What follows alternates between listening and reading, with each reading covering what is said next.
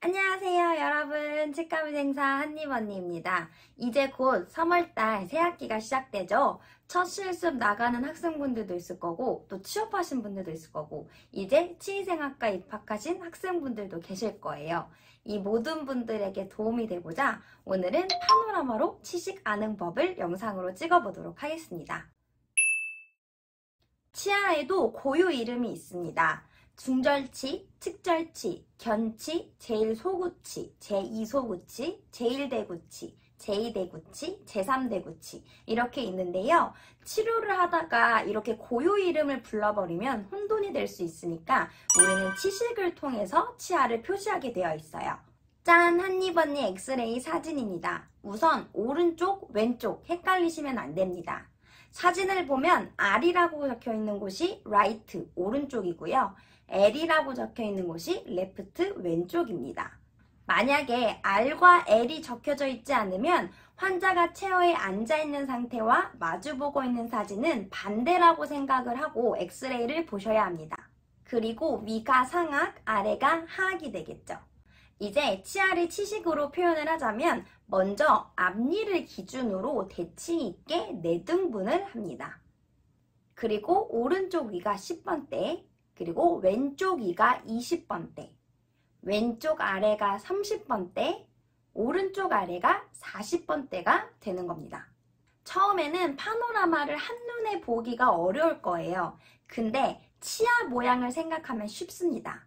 우선 사랑니가 묻혀있던 전제하에 큰 어금니라고 불리는 두 개의 어금니를 6번, 7번 그리고 작은 어금니라고 불리는 두 개의 어금니를 4번, 5번 그리고 송곳니를 3번 앞니 두 개를 1번, 2번 이라고 생각하면 쉽게 생각하실 수 있으실 거예요. 또 치근, 즉 치아의 뿌리를 보고 치식을 생각할 수 있는데 우리가 치아 형태학을 생각을 해보면 하악 같은 경우 큰 어금니를 제외하곤 치아 뿌리가 한 개예요. 큰 어금니는 치아 뿌리가 두 개죠.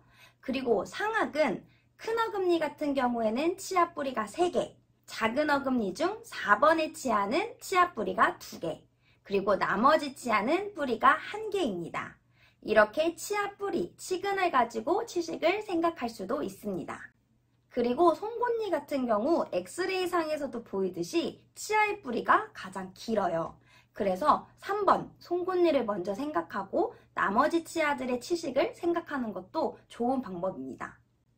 그래서 원장님이 35번 신경치료 해야겠는데? 라고 말씀을 해주셨을 때 여러분들은 왼쪽 아래 작은 어금니 두 번째 치아가 신경치료가 들어가겠구나 라고 해석하시면 되겠습니다. 그럼 제가 여기서 문제 하나 드릴게요. 혹시 16번 발치해야겠는데? 라고 원장님이 말씀해 주셨을 때 여러분들은 어떻게 해석을 할 수가 있을까요? 그러면 여러분들은 오른쪽 위에 첫 번째 큰 어금니를 발치해야겠구나 라고 해석하시면 되겠습니다. 오늘은 파노라마로 치식 아는 법에 대해 영상을 찍어봤는데요. 여러분들이 댓글로 언니 이런 거 영상으로 찍어주세요 라고 말씀해 주시면 제가 참고해서 영상으로 만들도록 하겠습니다. 그럼 다음번엔 더 재밌고 유익한 영상으로 찾아뵐게요. 안녕!